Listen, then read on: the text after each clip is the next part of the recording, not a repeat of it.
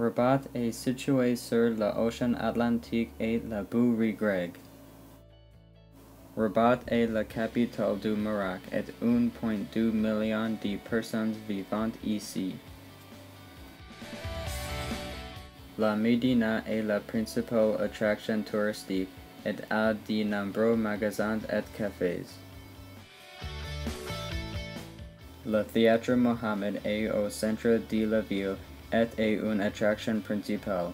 Le théâtre et les arts sont populaires à Rabat. Fou de Rabat est une équipe handball à Rabat et c'est un sport majeur. Aussi, le football, le volleyball et le baseball sont populaires. La mosquée Hassan est le monument le plus célébré de Rabat. L'islam est la religion majeure du Maroc et l'arabe est la langue officielle.